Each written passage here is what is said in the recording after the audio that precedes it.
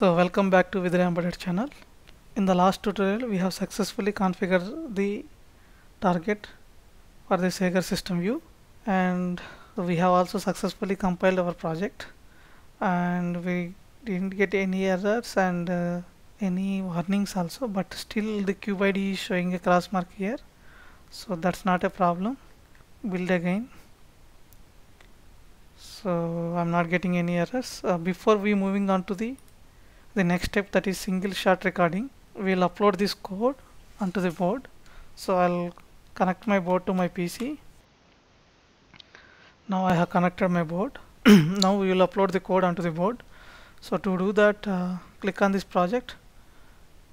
Click on this debug.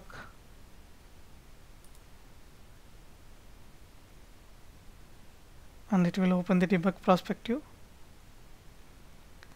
and now what I'll do is I'll step over. Okay okay so now we have a problem with the code mm, the cursor is not moving from Segger system view start to the to the next line. So let's go ahead and pass this application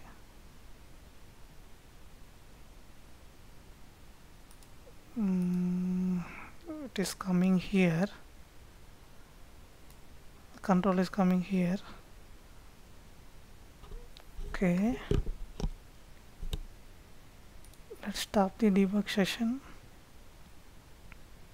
Go to main.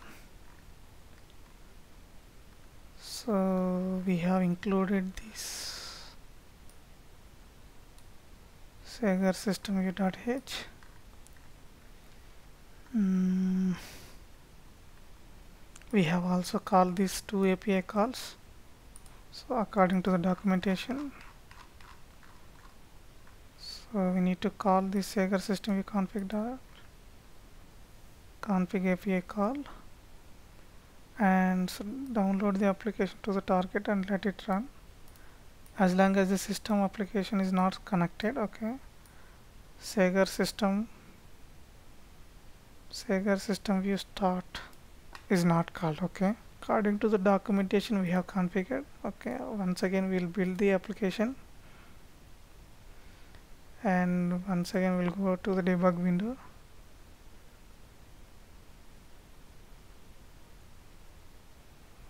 Okay. Go the execution one step by step okay initialization go, okay Segger system view config is also executed successfully. Now if I step over now we are in a problem that the application is stuck in here and it is not the cursor is not moving from the Segger system view start to the X task create function so go ahead and pass this. Okay again it is coming here. Okay now I have found the solution here. Uh, why cursor is uh, coming to here is uh, there is a problem that we need to configure here. So I have found that in the the Segger form and he has also the same problem like uh, I'm trying to use this system view with the FreeRTOS 9 okay in the project created by CubeMX but the program always stuck in the configASSERT. So line number 764 in the file port.c so that is what we are for us also it's happening. And go ahead mm, so so here is the solution. I think the problem was caused by the no initialization of the variable ul max prayer group before start call. Okay. So this variable is only initialized in the function. Okay. So and this function is called when the schedule is started. In this case I created a new function based on export scheduler for initializing the var variable ul max prayer group correctly and call it before Segger system view start so what they are actually telling is uh, they are asking us to uh, create this function call okay in port dot port macro dot h and we need to add this implementation in the port.c file okay. Let's go ahead and copy this go to cube so you will find the source go to source and go to portable go to GCC go to ARM Cortex M4 F and go to port macro.h go down and add it here okay? So now we have added this function. Add one more function in the port.c file okay? Go to cube again open this port.c file okay? We need to add it here so I'll copy this.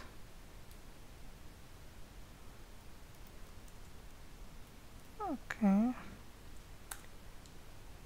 And we need to write this ndf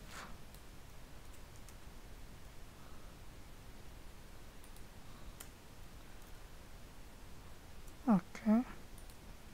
So and we need to copy this okay this is where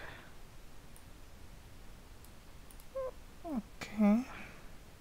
Where we have a UC max priority values okay? So that you will find it here. So expand this. Go up go up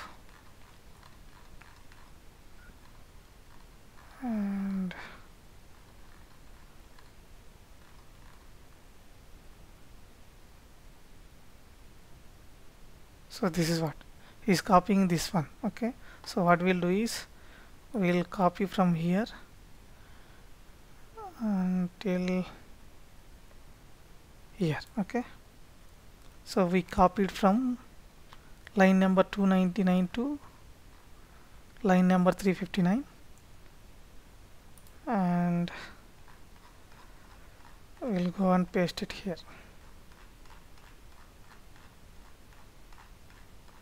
go down paste it here okay save the code. And of course they are asking us to call this API call before Segger system view start okay? Go to main.c file. So here they are asking us to call this one okay.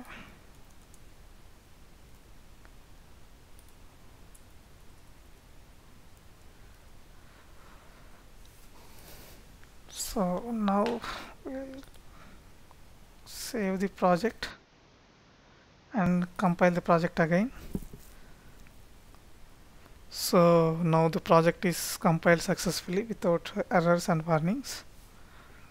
Now let's go and debug the code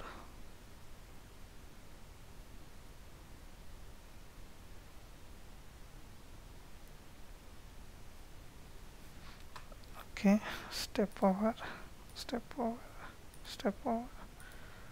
Okay now okay. Yeah now it the cursor is now coming to the x task create function. That means we have successfully integrated the Segger system view into our project. Okay and then go ahead